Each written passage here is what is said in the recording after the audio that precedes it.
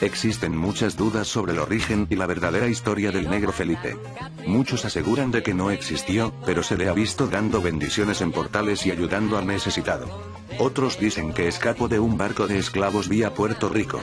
Otros que es netamente venezolano aunque no sabemos su historia del todo, hoy les traigo algunas versiones y mi opinión, para que juzgue usted mismo.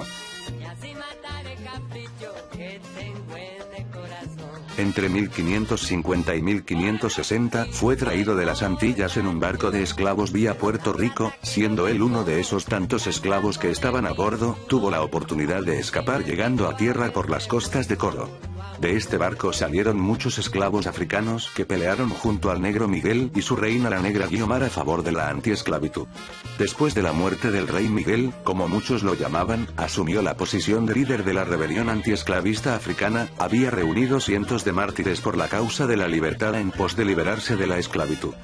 El negro Felipe fue un ser anónimo, pues las hazañas del negro Miguel lo opacaban, pero en el momento es que este muere, el negro Felipe toma el mando para seguir con lo que ya había el negro Miguel. Lamentablemente el negro Felipe también muere, aparentemente sin penas ni glorias. Su cuerpo desapareció misteriosamente y en torno a él, se entretejen hazañas increíbles, cuentos insólitos y su figura comienza con el pasar de los años a tomar fuerzas por los relatos que de él hacían sus compañeros y seguidores dentro del mundo espiritual.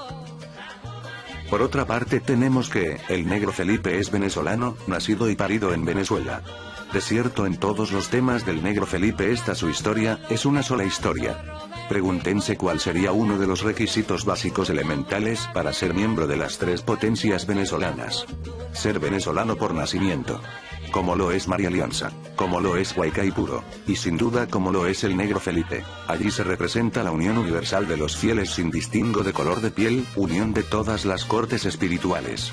Los tres reyes magos de Venezuela, el blanco, el indio, indígena de los pueblos originarios, y el negro. Como puede observarse la raza blanca, la raza negra, no son originarios del continente americano, y la conjunción de estas razas humanas se dio en Venezuela de manera universal, formando esta trilogía indisoluble. Las dos razas citadas trajeron sus creencias ya los originarios, tenían la suya la originaria del continente americano y se fundieron, se unificaron en lo que es el modo de vida en María Alianza. Eso nos deja con muchas dudas sobre el verdadero origen del negro Felipe, pero no hay que desanimarse, sé que será muy difícil encontrar su verdadera historia, pero por más difícil que parezca, nada es imposible en esta vida. Yo no me sé su verdadera historia pero he tenido la oportunidad de verlo varias veces. Así que les diré algunas de sus características. El negro Felipe como lo dicen algunas de sus oraciones es una excelencia, personaje que en vida fue muy inteligente y en nuestro culto lo sigue siendo. Aunque no hay que dejarse llevar por las apariencias, el hecho de ser inteligente no lo hace un espíritu aburrido, el negro Felipe le gusta echar broma, de una mínima cosa suele sacar cualquier chiste, aunque no todo es risa y relajos, este espíritu es muy fuerte y hay que respetarlo. Recuerden que hay momentos de risas, pero llega un punto donde se pone sería la cosa y ahí es donde está el respeto. El negro Felipe no le gusta bañarse, solo se baña una vez al año y es el día de su cumpleaños. Por lo tanto cada vez que baja en un portal suele oler a mal sudor, la materia o medium que lo baje quedará con este olor una vez que baje a tierra. E inclusive con tan solo sentir los fluidos del negro Felipe empiezan a pegar estos olores.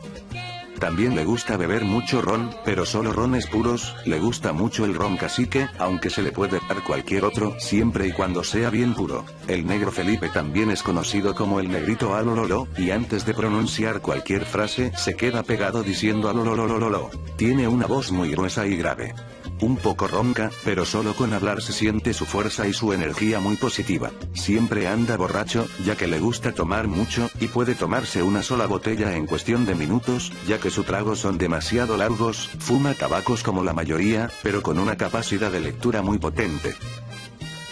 Ese fue todo mi aporte sobre el negro Felipe hermanos y hermanas, también puedes dejarme tu aporte en los comentarios. Un saludo muy especial al hermano Lemuel Cova, gracias por compartir el video y gracias por el apoyo. No te vayas sin antes suscribirte es fácil y totalmente gratis, si el video te gustó dale pulgar arriba, déjame tu opinión en los comentarios. En la descripción te dejaré nuestras redes sociales, pásate por el canal así verás todo nuestro contenido. Muchas gracias a todos por el apoyo. Que Dios y la reina los bendiga a todos.